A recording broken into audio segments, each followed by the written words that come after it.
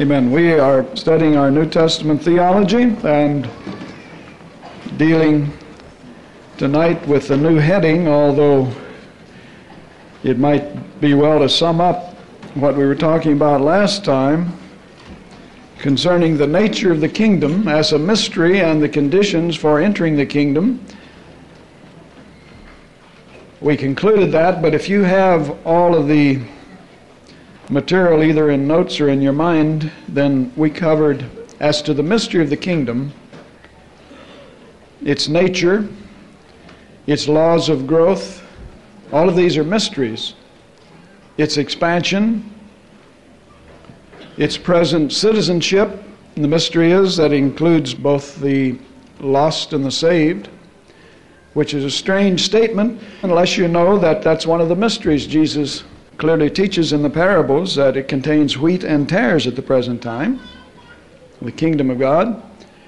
The mystery of its present reality and manifestation, it's invisible at present. That's why the world doesn't know it exists. Israel's waiting for the kingdom, that is, that aspect of Israel that believes anything in the Old Testament, which, of course, they're in a minority. And then it's a mystery concerning its value, the parable of the pearl. Its value is hidden to those who are unwilling to forsake all to obtain it. The value is hidden from them, and it's a mystery even as to its reception, its conditions. Because, as we said last time, most people equate being in the church with being in the kingdom. And the mystery is you can join a church and still not be born again into the kingdom of God. So even the conditions for entering are a mystery. Tonight we come to the next point on your outline, if you have it. That is the relation of the kingdom to the church, a very important aspect of our study. In studying these things, as we've said about other things, it's not some academic exercise we go through here because if we were just going to do that, why, we could establish a school and give diplomas, and you could wear a cap and gown and really feel proud of yourself. Hang your paper on the wall and forget it, like most do. So it isn't that, but by your understanding the relationship and the nature of the kingdom, like its mystery and all, then you ensure that you get in it, as well as help others to find the way into the kingdom, because there are keys into the kingdom. And knowledge of the Word of God is one of the keys. The relation between the kingdom and the church. Now, is the kingdom of God and the church to be equated? Equated as Augustine did. You've studied about him in this church years ago, church history. As Augustine did, and the later Roman Catholic Church did. And if not, what is the relationship? Are they to be equated, church and kingdom? Now it's surprising how many do equate the two. That is, if you're in the church, you're in the kingdom. And if you're in the kingdom, you're automatically a member of that so called invisible, mystical body of Christ somewhere that people keep talking about, but I haven't found it yet. The only body of Christ that's in the Bible is one like this, where you can see it, you can find the people. Well, anyway, we'll get to that later. So I want to deal tonight with scriptural evidences that show the church is not to be equated with the kingdom. This is seen, first of all, because the New Testament distinguishes between the church and the kingdom. The New Testament itself distinguishes between the church and kingdom. Jesus and the apostles preached the kingdom of God. And if it wouldn't be misunderstood, I would say, and not the church. But since people sometimes quote what they want you to have said instead of what you meant by what you said, then I'll say Jesus and the apostles, as well as the early church itself, preached the kingdom of God, not merely the church. So, not merely is for the benefit of people who might stumble. But they didn't preach the church in the Gospels, they preached the kingdom. It's like the ratio of 121 to 2. you kind of get the idea that the kingdom is what Jesus came to establish. Now, he came to establish his church. Don't minimize it. Get the tapes where we deal with the doctrine of the church. He died for His church. His church is a glorious thing to Him. But you can't confuse the two, is what we're saying. And the bigger concept is the kingdom of God, and the church is within it, as we'll see. A ratio of 121 to 2. Now, there are people sitting here tonight that don't know that the church is mentioned only two times in the four Gospels, and the kingdom 121 times. Count them yourself. Now, it isn't the church isn't important, but he didn't come to preach church. He came to preach the kingdom, and the people who believe the message of the kingdom become the church. The church is not a building, it's the people in the kingdom. But they're in the kingdom. The church is in the kingdom. It's not the other way around. There are only two passages, and for those of you who wouldn't hear what we'd say for the next 20 minutes, I'll tell you what they are. Upon this rock I'll build my church, Matthew 16. That's one place he said it, Matthew 16. Then the other place is Matthew 18, where he said, If they neglect to hear you, if you've gone to your brother who's sinned against you and you take somebody else and he won't hear them either, then tell it to the church. Two places in the Gospel of Matthew.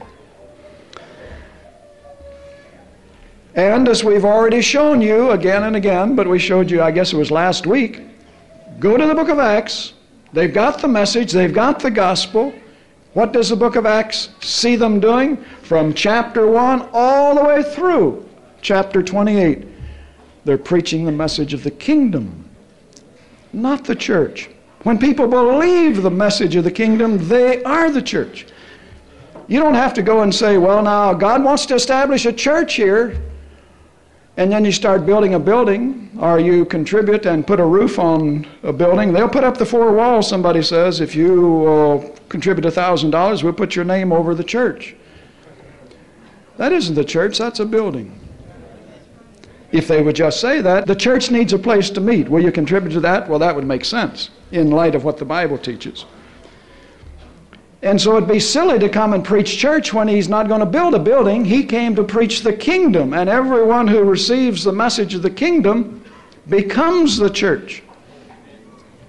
Because the church is an ecclesia. The word ecclesia means the called out ones. It doesn't mean a building. In fact, the Bible never once uses the term church. That's a German word means a building. But what Jesus used, he said, Upon this rock I'll establish my body of believers. That's what he said. He didn't say he was going to build a church building. But he's preaching the message of the kingdom. I feel like I'm laboring this point for the benefit of some that are new in the faith, are new in faith assembly, are visiting or whatever, and I don't mean any reflection on visitors, but do yourself a favor and get our theological tapes on the doctrine of the church. We're stating things here that we've already shown this church from the Word of God. So I'm not going to labor it, I'm just going to state it, and we'll have some proof texts along, but it's a long, detailed study, the church. Mark 1 14 and 15. After John was put in prison, Jesus came preaching, I'm going to establish my church. He didn't say that. Mark says he came preaching the kingdom of God. In Matthew 3, when John the Baptist came, he came preaching the kingdom of God. When Jesus sent the apostles forth, every time he said, Go preach the kingdom of God. When Jesus was raised from the dead in Acts 1, we're told for 40 days he taught the apostles concerning the kingdom of God. All through the book of Acts. And when Paul in chapter 28 is imprisoned, we're told that there he taught the Jews concerning the kingdom of God. So that's what he's preaching the kingdom.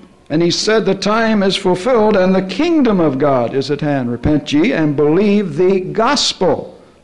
the gospel is the message of the kingdom. But we've already proven all this, shown it again and again from Scripture, that the gospel is the gospel of the kingdom. It's not the gospel of this or that or denominations or creeds or your beliefs. It's the message of the kingdom, which is the whole Bible, Genesis to Revelation. Now, that's the first thing. It's what they preached. We said that the New Testament distinguishes between the church and the kingdom because those who believe the message of the kingdom become the church. Now, since the church, in the New Testament is not an organization, you never see that. You have to get into Catholicism and Protestantism to find an organization, an institution with hospitals and old folks' homes and mission boards and you name it. The church in the New Testament is not an organization but an organism, you know, like Your body is an organism. Some of us are hands, feet, eyes, and so forth. So, since the church in the New Testament is not an organization but an organism, nowhere does the New Testament do like some erroneously do, ever equate believers with the kingdom. Believers are equated with the church. Believers are never equated with the kingdom because this would be to confuse terminology. What is the kingdom? It's the reign and rule of God in the hearts of men. Right now, invisible. Later it will be made visible, but the kingdom is the reign and rule of God. So the church isn't the kingdom. The kingdom is the rule of God, and the church are those who are ruled over by God. The church consists of the citizens of the kingdom of God. And that's why the New Testament never equates kingdom with the church. You preach the kingdom, that creates a community of believers, which Jesus called his ecclesia. It'd be like if you went to England and heard someone say, We are the monarchy. But they would never say that because they are not the monarchy. They would say, We are the subjects of the monarchy, or the kingdom, same meaning. So don't confuse the subjects with the rule of God. We are the ruled, He is the ruler, He's the king, and you can't be a king without subjects. I mean, by analogy, you can't. So we become the ruled. Now keep in mind that there are those and large, vast portions of people who equate the two, but they certainly don't get it from the New Testament. Now, the identification of the church with the kingdom began with Augustine in the fourth century AD. That's in the 300s, the fourth century AD. And then the Roman Catholic Church, when it was established in about the sixth century, they say it goes back to Peter, but actually, anyone who studied church history will get it about the sixth century. They pick up Augustine's theory that the church is to be equated with the kingdom. And that error, which it is, gave rise to another error, which we entitle the universal, visible church theory of Rome. The universal, visible church theory of Rome. Following Augustine, who equates the kingdom with the church, in other words, as extensive as the church is, so is the kingdom. As extensive as the kingdom is, so is the church, is what is implied there. So that gave rise, when the Catholics picked it up, to another error entitled Universal Visible Church Theory of Rome. Now, Rome teaches on the basis of that theory that since the kingdom is universal, since the kingdom of God is universal, that is worldwide, it's not local like a church, you know, like this local church. Because you see, a person can be a part of this body, and a Christian can be a part of a body over in Australia. And we're both members of the kingdom, but we're not members of the same local body. And they're correct on that. The kingdom is universal. That's the first thing. And secondly, since there's no salvation outside the Roman Catholic Church, then quite logically, the kingdom is to be identified with the universal, visible Roman Catholic Church. If you admit one error, you can prove whatever you want about any subject.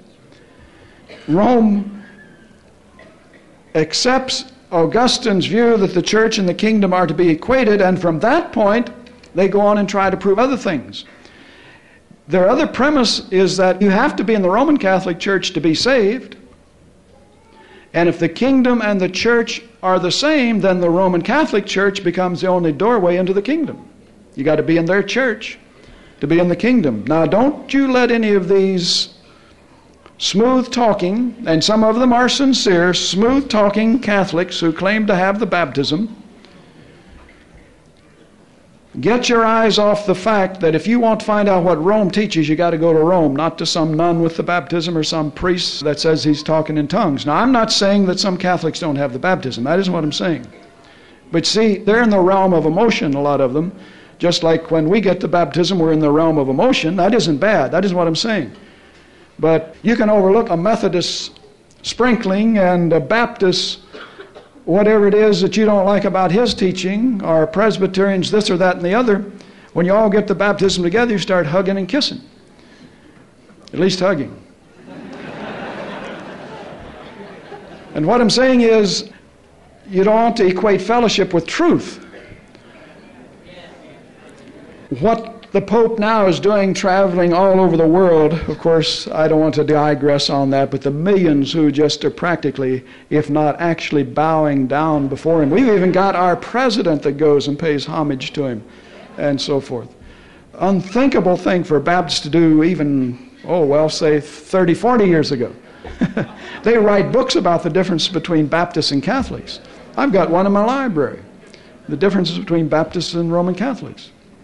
That's where I picked up a lot of these things that they teach, not what they say always, but what they teach. So if you want to know what they believe, to this hour, Rome does not believe that there can be anyone saved outside their church. That's why he's traveling the world trying to get the church back to Rome. And the English, the Anglicans, and Episcopalians are just about ready to do it.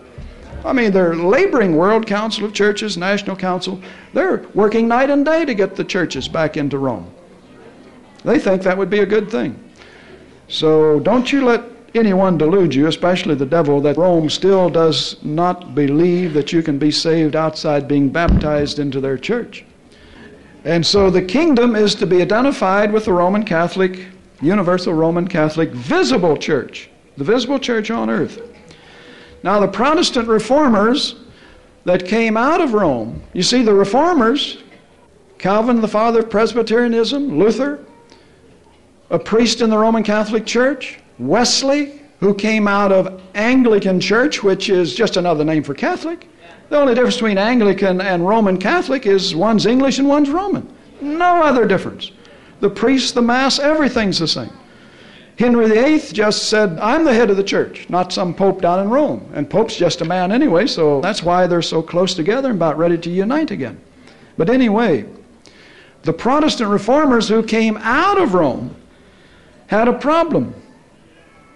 Because you see, when they gave up Roman Catholicism, they were no longer in the universal Roman Catholic Church, which was the doorway into the kingdom, since they equate the Roman Church with the kingdom of God. And so, quite logically, they had to invent their own kingdom church theory, which they did. And it is entitled the Universal Invisible Church Theory the universal invisible church theory. The other was the universal visible church theory of Rome. See, Rome, it's a universal visible church theory. The visible Catholic Church is the kingdom of God on earth, is what they teach. So the reformers, since they're no longer in the Roman church, that means they're not in the kingdom. They either had to go back to Rome or invent a new theory, which they did, which is a universal invisible church theory. That the true church is invisible. It's not that visible Catholic church. You can be a member of the church, that invisible, mystical church. And Luther and his followers invented this theory. It's not in the Bible, and yet to this hour, it's the basic Protestant position. And yet you won't find a word of it in the Bible. So the reformers reasoned this way that since the kingdom is universal, spiritual, and invisible, at least in its present aspect, kingdom of God is within you, remember Jesus said, since the kingdom of God is universal, spiritual, and invisible, and since the church itself is visible, they couldn't deny that. In its local expression, it's visible. Then they said it is reasonable to deduce. oh, that's where you get in trouble, friends. Just go to the seminary, and they give you all these reasonable deductions why the first 11 chapters couldn't be historical. They're legends, they're fairy stories. But anyway, back to what we were saying. Since the kingdom is universal and invisible, since the church is visible, then it's reasonable to deduce that there must be side by side with the local visible churches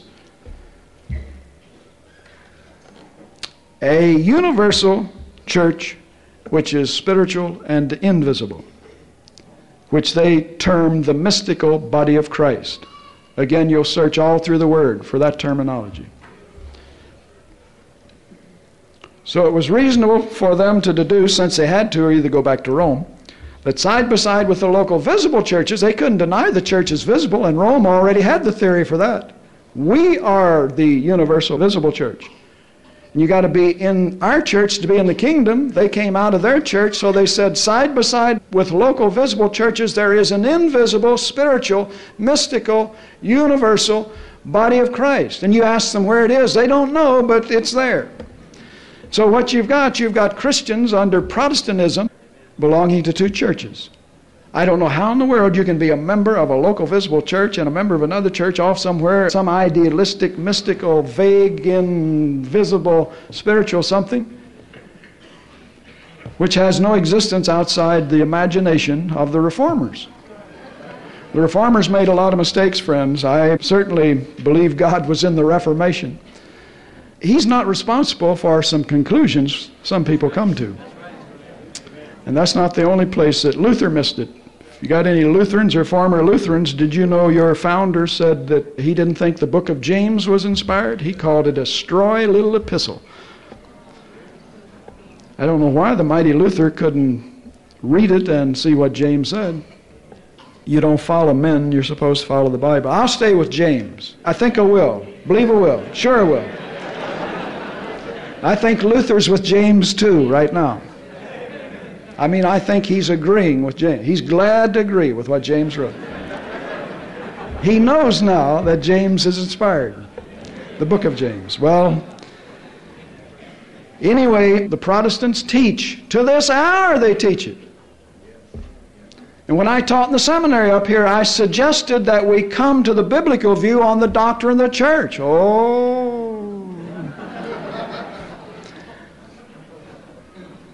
Go back to your teaching functions, Old Testament theology and Hebrew and ethics. Leave the doctrine of the church. It's in the creed, you see. They'd have to change the whole creed, the whole denomination. And they can't find one verse in the Bible to support the mystical body of Christ theory. As I say, all of that's on tape, so we're not trying to rehash that. But their answer to the Roman Catholic universal visible church theory is that the kingdom is invisible and spiritual. And the true church, to which all believers belong, both living and dead, they say, not just living people, both living and dead, the true church is really invisible. And that's how they got around Rome. Because all believers, living and dead, of all ages past and all in the future, belong to that invisible, spiritual, mystical body of Christ they take a metaphor out of the New Testament, which is a metaphor, and make a literal reality out of it. So Protestants taught that side by side with local visible churches, there's an invisible spiritual body of Christ off somewhere, the true church made up of all believers, living and dead. Now, if you can tell me how you can belong to two churches at the same time. In fact, anyone who studied any philosophy, and I don't recommend you do, but if you have, you'll recognize just another case where the church allowed to enter its theology some Platonic idealism. Now, idealism, just to sum it up in a sentence, means that the world we see, the world and all the created objects, are not real, not the real thing. Behind this, there's an invisible spiritual idea, and that's the reality that we're only seeing the shadows and the real is off in space, you know, the spiritual, what you might call heaven. That the idea is with the gods, as Plato would say, the idea of a world, the idea of a tree or a stream or a rock or you. But we're just shadows of the reality. So you see how that Platonism has come in, and these men, the reformers, were students of philosophy too. You better believe it. Catholics are required to study it, and all of them came out of Catholicism. In fact, I was required to study it. That's how I know about it, but I didn't imbibe it. And that's not the only place Platonism affected New Testament theology. For those of you who are interested, the idea of man. It came right into the church. They've got him all divided up. The Greek idea, which is pagan philosophy again, is the body as a prison house which houses the soul, and the soul's trying to escape and get back to God. Of course, Plato would say the gods. That's right in the church. This hour it's taught in the seminaries. And what does the Bible say? Man has a soul, says man is a soul. You are what God saves. All of you, even the body is redeemed and will be changed. And so, so many places idealism comes in. Now, we could digress and get off into Hebrews 9 and 10 and all of that, but unless somebody's got a question about it, I don't think we need to digress. A lot of people, and that's no criticism of you, don't even know what you mean by Platonic idealism to begin with. So, what do you gain by just spending an hour talking about it? but an ideal, see, the ideal thing is what's real, and the earth and all isn't real. I should at least give the footnote that in Hebrews 9, and see, unless you're grounded in the Word and philosophy, you can easily be led astray by some of these men. Remember, Paul there speaks of the temple, the tabernacle, the altar, priesthood, the sacrifices were patterns of spiritual realities in the heavens. And somebody could say, see, Platonism right in the book of Hebrews. Throw the book of Hebrews out. But no. You see, Paul is saying there are spiritual realities in heaven concerning redemption, of which God said, Now pattern the temple, Moses, and all after these things I show you. And these patterns are limited to redemption, whereas idealism applies to the whole created order. See, so there's a big difference right away. But anyway, students of philosophy will recognize Platonic idealism in this Protestant theory of the church. Now, many who would deny, and many Protestants will, deny equating the kingdom with the church, nevertheless, in actual fact, they do with this mystical body of Christ. They end up the same place. I mean, in actual fact, some teach that there's a separation between the kingdom and the church. They're not the same. We see that, they say. But they end up in the same place with their universal mystical body of Christ church theory, to which everybody who's saved belongs, and everybody who's saved is in the kingdom, so you end up the same place. You've identified the two. But what we're saying, the New Testament shows you that the kingdom is the reign and rule of God in our hearts. The church is you. So the kingdom and the church are never equated in the New Testament. You have to go to Catholicism or Protestantism that came out of Catholicism to find that. That's not something that's even debatable. I mean, you can debate it. I don't mean that. But it's not even debatable if you'll stay with the Word. It's not something that I took up as a hobby or a little aside, but I've spent many years in the doctrine of the church and the doctrine of the kingdom. I've yet to find anybody who can prove their theory about a universal church. It's not taught in the Bible. And even verses that you might think you have something, you know, a peg to hang some theory on, in light of all the New Testament teaching, it's clearly the local visible church is the only thing the Bible knows anything about. You've got the kingdom. What do you need with a universal, mystical, invisible body of Christ's church to belong to? You're already the church right here. You're a member of the kingdom. What do you have to be a member of three things for? Especially when you can't find that third one in the Word of God. So, every born again believer is a member of the kingdom. He's in the kingdom. Colossians 1 says he is. But by no means, down through history, has every believer or member of that kingdom been a member of a true New Testament church. To this hour, there are people who are in the kingdom and not in the true church.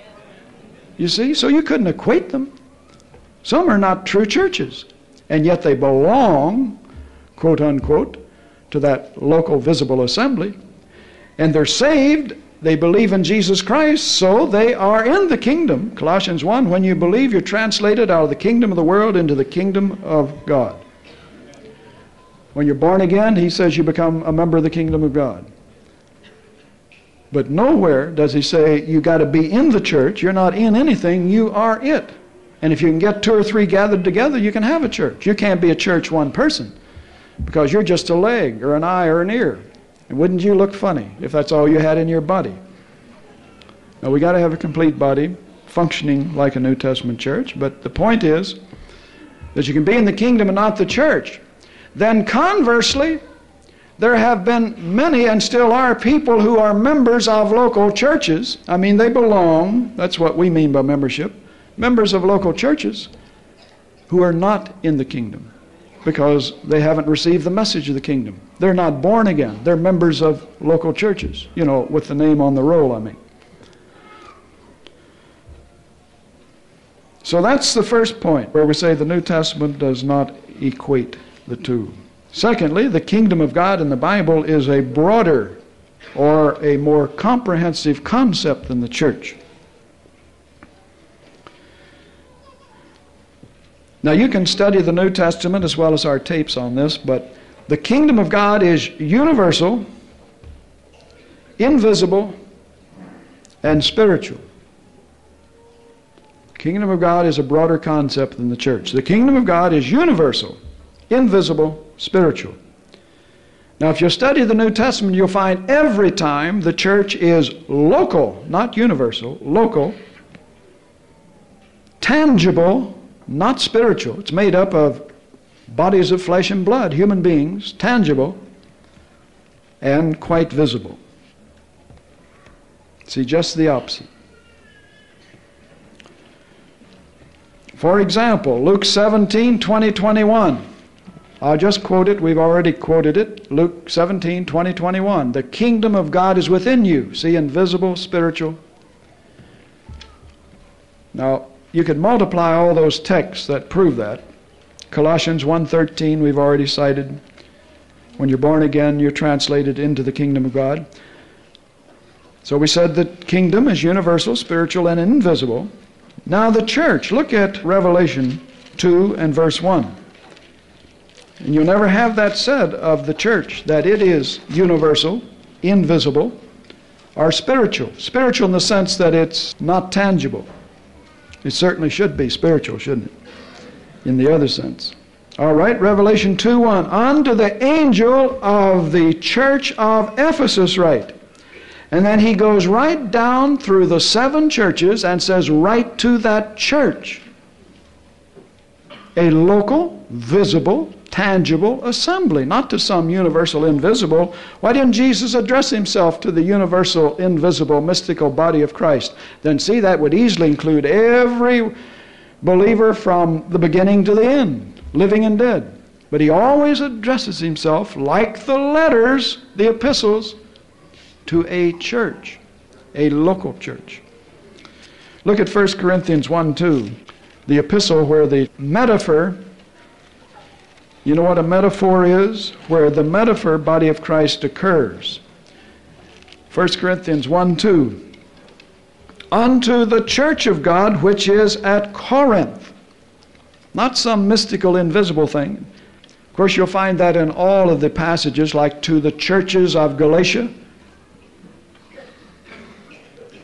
where he didn't say to the church of Galatia, if it was some universal at least Galatian wide religious system, but he writes to the churches of Galatia, since there's a church at Corinth.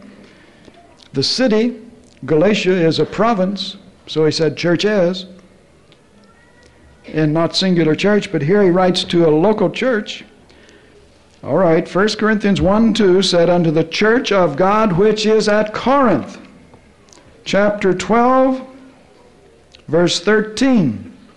For by one Spirit are we all baptized into one body, whether Jews or Gentiles and so forth. All right? One Spirit, we're all in one body. Then jump down to verse 27. Now ye are the body of Christ. There's the metaphor, and his members in particular. He addressed it to the church at Corinth, and he said, You, there at Corinth, that local visible assembly, you are the body of Christ. And if there was no other local church in the world but Corinth, then they would be the whole body of Christ. Body of Christ is a metaphor showing relationship. He's the head, we're his body on earth. And he uses all through chapter 12 the analogy of a physical body. And they take this metaphor and make a reality out of it, and then get us members of that invisible, universal, mystical body of Christ somewhere. But there's not a word in the Bible that teaches it. Again, for fear of making repetition, but I'll say it anyway, get the tapes on the doctrine of the church where we go into much detail on this. But we need it as a part of our study here to remind you of one or two things that he said to the church at Corinth, Ye are the body of Christ. In other words, they are all it is. And when you go over to Galatia and find a church, he would say to them, Ye are the body of Christ. He'd go to Ephesus, Ye are the body of Christ. And if he came to North Webster, he'd say to Faith Assembly, Ye are the body of Christ. There's no universal something we belong to. We're it. The church at Corinth was it. That's it. That's the one he was addressing at that time. So the Word of God, if you bother to study it, puts to rest that erroneous, invisible, mystical theory of Protestantism. And as I say, it's significant that Christ addresses himself in chapters 2 and 3 of Revelation to the churches of Asia and names them local churches. It'd been so easy if there had been a universal mystical church somewhere to just say, John, address my words to the church, universal, because it's not going to just be limited to those seven churches of Asia, which we know it isn't, but because there isn't any church universal. In the New Testament, the local church is not a part of a universal mystical body, but in the New Testament, the local church is the church in its local expression. Now, you ought to write it down or remember it, one or the other, and you'll save yourself a lot of confusion. In the New Testament, the local church is not a part of some universal mystical body as the reformers taught, but the local church is the church in its local expression. This is the church of Jesus Christ right here. Then you go over in southern Indiana or Texas or wherever where there's a true church, then that will be the church in its local expression. And if you get all of the local bodies together, you would have the church, if you get them all under one roof, say in a big football stadium that would hold all true Christians who are members of true churches, then that would be the church of the world, right there in that football stadium.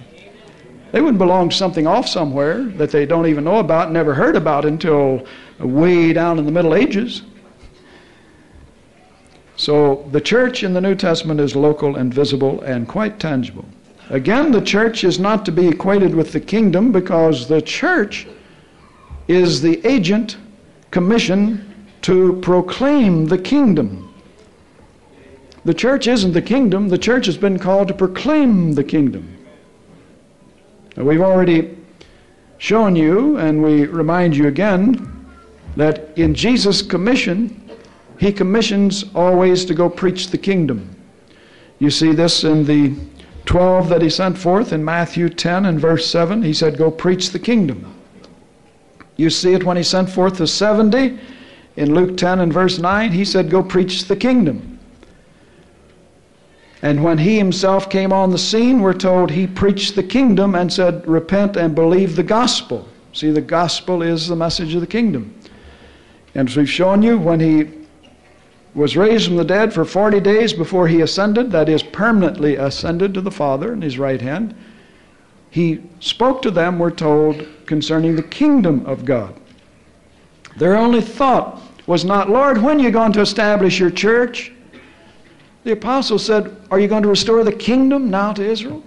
That's all they're talking about. And all through the book of Acts, whenever you hear them preaching the gospel, it's called the message of the kingdom of God.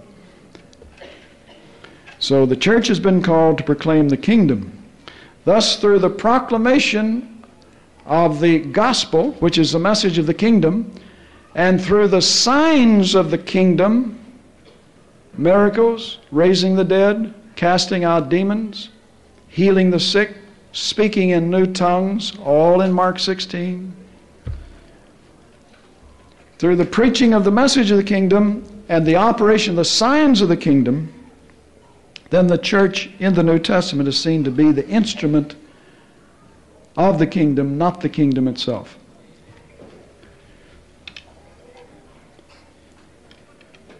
The New Testament differentiates between the church and the kingdom. Fourthly, we see the church in the New Testament is the key to the kingdom. In a sense, saying the same thing that we just said, but with much more detail needed in explanation because there's a lot of ideas about what the keys to the kingdom are. But the church, fourthly, is the key into the kingdom.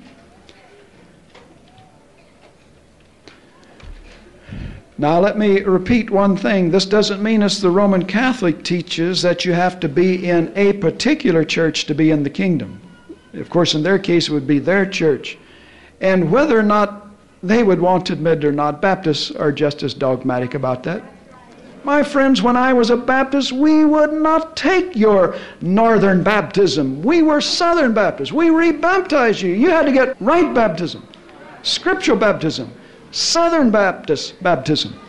Don't look cross eyed at the Catholics and be proud because, I'm thank God I'm not a Catholic but a Baptist. That's my background. Listen, they're as dogmatic as the Catholics. I mean, good old dogmatic Baptists really don't believe, really don't believe. They have a hard time believing that a Methodist will make it. Uh, that's true. Oh, we hammered away at that works and fall of grace teaching as Baptists. And while in your heart of hearts you knew there had to be somebody besides Baptists that somehow could get in, yet you really couldn't admit it because it was like you're letting down the hedge. Like one fellow said, another brother that I prayed for to receive the baptism, another Baptist pastor, and he knew my Baptist background. He asked me to pray for him. You know, one Baptist for another. He went to a Pentecostal meeting once, and he said, Oh, they shouted and raised their arms and all of these things that are so unnecessary to the baptism of the Holy Spirit. I see it's valid. I'd like to have it, but I don't go in for that. So he wanted a Baptist pray for him. The first thing he did when he got the baptism, just like a Pentecostal, running around the bedroom with his arms in the air for about 30 minutes.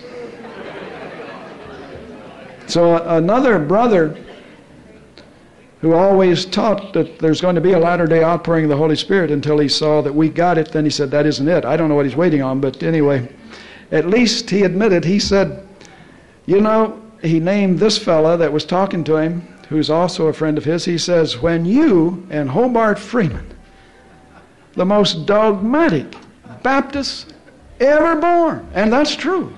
I know I was, I don't know about the other. He said, If you've got something, like the baptism of Holy Spirit, it bears investigation, you know, something to that effect.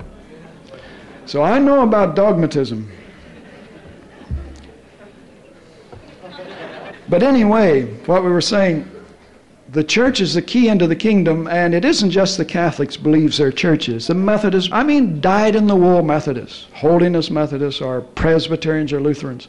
You got to join their church to make it in. I'm talking about not those who are party goers and smoke in the church lobby and all that kind of stuff, but people who are really sincere, you know, like the Orthodox Jews to this hour. They believe they're the only ones going to make it in. There's a little group over in another state here, just a handful, that wear the old uniform of a religious order. I'm sure they must think they're the only ones really going to make it. But anyway, that isn't what we're talking about. That the church is the key into the kingdom. We'll see what we mean by the keys later. But we want to get that out of the way because you see, it's possible to be in the kingdom and not be in the church. That's what we said. It's possible. You don't recommend that. But see, that just knocks in a cocked hat the theories that you equate the two because the thief on the cross, Jesus said, Today you'll be with me in paradise in the kingdom. And he never did get on off the cross and join a church. Never did. In fact, there wasn't any yet. See, that didn't come till Pentecost, which is a considerable time later. And down through history, you'll find people just to this hour. You may live in an area where there's no true New Testament church, but you're a believer, you're born again. So, after putting all that aside, now let's look at what it means by saying the church is the key into the kingdom. At least we'll introduce it tonight because it's a rather lengthy subject. We want to look first at Matthew 16, verses 13 to 19, because this is where we get the basis or the terminology of keys into the kingdom on the basis of what Peter said and then what Jesus replied to him. When Jesus came to the coast of Caesarea Philippi, he asked the disciples, saying, whom do men say I, the Son of Man, am? Some say that you're John the Baptist, Elijah, Jeremiah, or one of the prophets. He said unto them, But whom say ye that I am? And Simon Peter answered and said, verse 16 of Matthew 16, Thou art the Christ, the Son of the living God. And Jesus answered and said unto him, Blessed art thou, Simon Barjona, for flesh and blood has not revealed it unto thee, but my Father which is in heaven.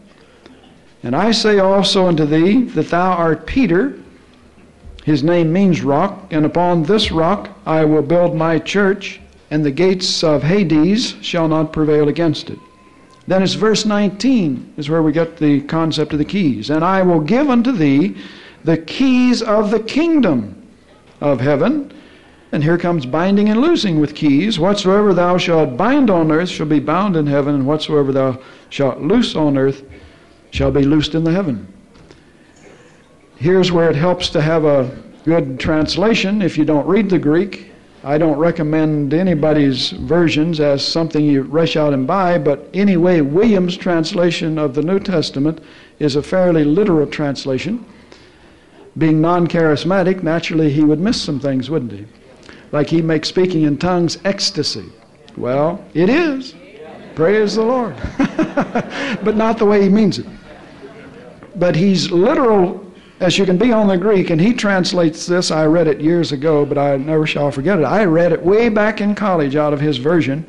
He translates what the Greek says Whatsoever you bind on earth shall be having been bound in heaven. In other words, it's already bound in heaven.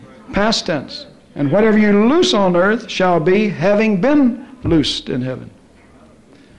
So it's not people running around down here and binding and loosing at will things that God is not going to be bound with or loosed in heaven with or about. You can't just bind and loose everything. That's why you have to get in tune with the Lord, you see. Because what you bind has already been bound.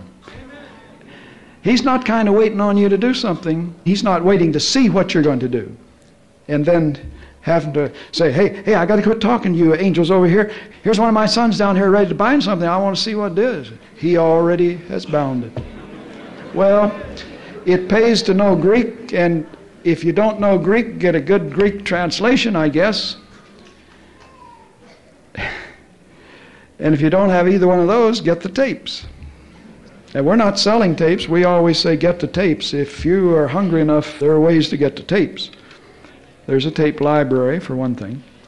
And by the way, the keys of the kingdom. That means into the kingdom. You know what a key's for? To open a door. He says, whatever you bind or loose has been bound and loosed. So, what are the keys? Well, we're going to introduce it tonight. Whet your appetite. What are the keys? Well, there are various views. So, let's start with the first one, which is the Roman Catholic Church which really always stands pretty much opposed to the Protestant view on anything, so we'll start with that. The Roman Catholic Church contends that on the basis of this passage, which speaks of the rock and the keys and the binding and loosing, that Peter here is made the chief apostle by Jesus. Thou art Peter. And he says, Upon this rock I'll establish my church. And so the rock is Peter, Peter is made here the first pope because he established the church at Rome. Now, friends, I don't know if you ever have or will read any church history. Can you say pure conjecture about an error? That is pure or impure, either way, conjecture.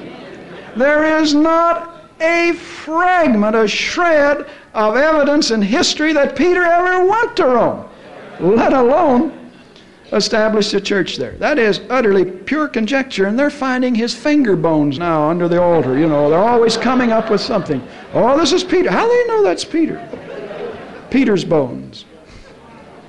You know, they're in the habit of burying everybody and then digging them up 50 years later and making a saint out of them and sending their bones, finger bones, toe bones, literally rib bones all over the world as relics. They put them in glass boxes and people go to that. It's a shrine and you get so many years out of purgatory if you make a pilgrimage. Literally, that's the way they go.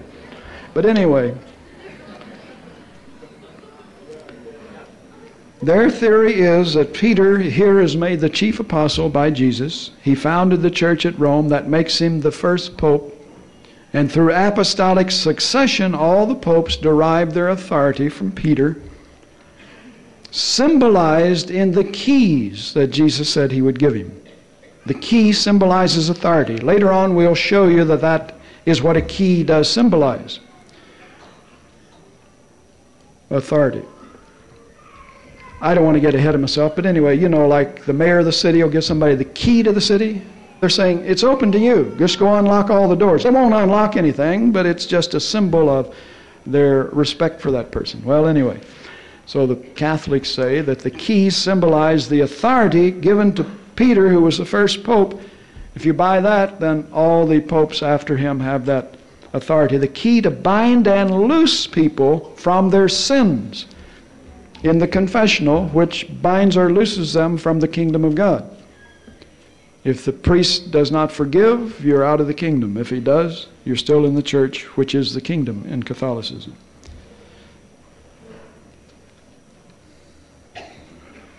Now,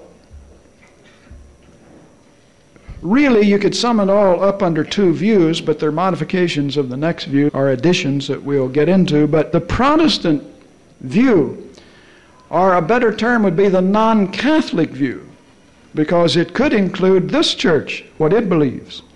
So let's say the non Catholic view, which would include Protestants, generally agree that Peter's confession of Jesus of Nazareth as the Son of God, divine Son of God, the Protestants and non Catholics generally agree that it's Peter's confession of Jesus Christ as the Son of God. We just read it to you. Which is the rock he referred to, that he would build his church upon that rock of confession. Everyone who makes a confession becomes his church. So Peter's name means rock, Petros. He's making play on words that on the basis of your confession, then that's going to be the rock upon which I build my church. Now that is the consensus, I suppose, of 98 or more percent of non Catholics. And that the keys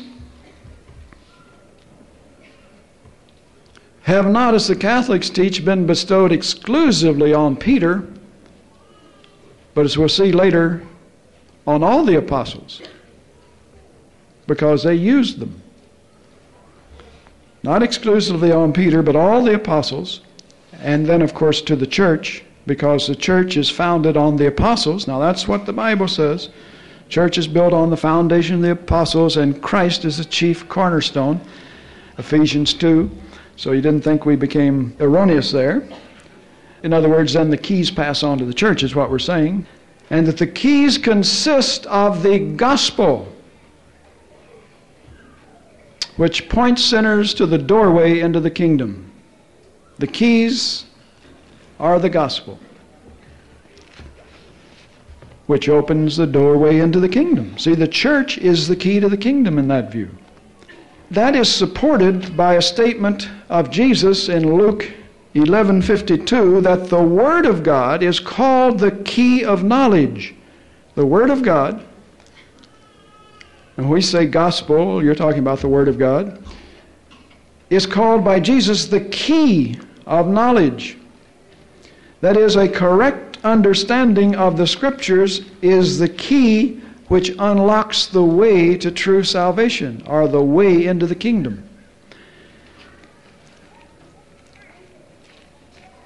There in Luke 11:52, he's giving a scathing denunciation of the Pharisees and the Sadducees and the leaders, and then he gets down to the lawyers and the scribes. Verse 52 Woe unto you, lawyers, for you have taken away the key of knowledge. See, they taught the Word of God. But they added all of this minutiae of tradition and so forth that Jesus constantly said they shouldn't have done.